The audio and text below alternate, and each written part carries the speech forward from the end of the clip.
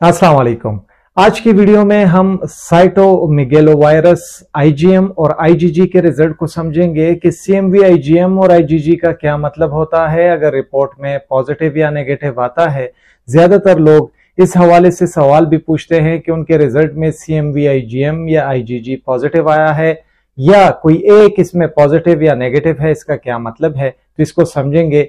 सबसे पहले CMV IgM फिर आईजीजी और फिर इसके रिज़ल्ट को समझेंगे। अगर कहीं सीएमवी साइटोमिगेलो वायरस का आईजीएम नेगेटिव हो और सीएमवी आईजीजी भी नेगेटिव हो तो इसका मतलब है कि ये पेशेंट बिल्कुल सेफ़ है रिज़ल्ट नेगेटिव है और इसको साइटोमिगेलो वायरस का कोई भी इंफेक्शन नहीं है।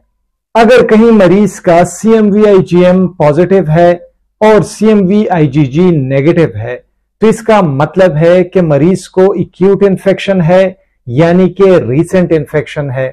या मरीज़ को कहीं सीएमवी का इन्फेक्शन पहले हुआ था और दोबारा से साइटोमिगेलो वायरस का एक्सपोजर हुआ है और टेस्ट पॉजिटिव आया है, या मरीज़ में जो लेटेंट सीएमवी है, वो दोबारा से रीएक्टिवेट हो गया है लेटेंट सीएमवी का यह मतलब होता है कि कुछ लोगों को इसका इन्फेक्शन होता है, कुछ माइनर सिम्टम्स होते हैं, लेकिन फिर ये वायरस जाकर सेल्स के अंदर छुप जाता है और मरीज़ को किसी भी किस्म का नुकसान नहीं पहुंचाता। लेकिन जब मरीज़ का इम्यून सिस्टम कमज़ोर होता है या कोई और क्रॉनिक बीमारी होती है तो यही छुपा हुआ जो साइटोमिगेलो वायरस है, ये दोबारा से एक्टिवेट हो जाता है और इन्फेक्शन का बायस बनता है।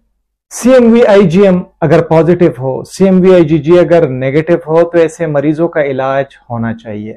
सीएमवी का आईजीएम अगर पॉजिटिव हो सीएमवी का आईजीजी भी पॉजिटिव हो। अगर दोनों पॉजिटिव हो तो इसका मतलब है मरीज़ को एक्टिव इन्फेक्शन है, यानी कि प्राइमरी इन्फेक्शन है। या इस मरीज़ में भी जो लेटेंट सीएमवी है, जो छुपा हुआ सेल्स में साइटोमेगेलो वायरस था, उसकी रीएक्टिवेशन हो गई है। सीएमवी आईजीएम अगर पॉजिटिव होगा और अगर सीएमवी आईजीजी भी पॉजिटिव होगा तो ऐसे मरीजों का भी इलाज होना चाहिए।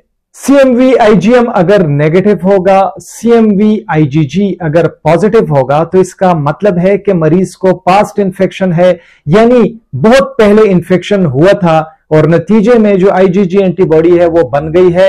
आने वाले टाइम में ये इसकी हिफाजत भी कर सकती है इन्फेक्शन के खिलाफ।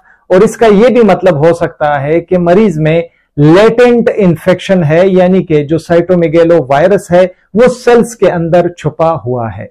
बहुत ज़्यादा शुक्रिया है मल्टी हब विद कामरान देखने के लिए। वीडियो पसंद आई हो, वीडियो को ज़रूर लाइक करें, दोस्तों के साथ शेयर करें। हमारे channel multi hub with Kamran को सब्सक्राइब करें, अपना ढेर सारा ख्याल रखें। अल्लाह हाफिज।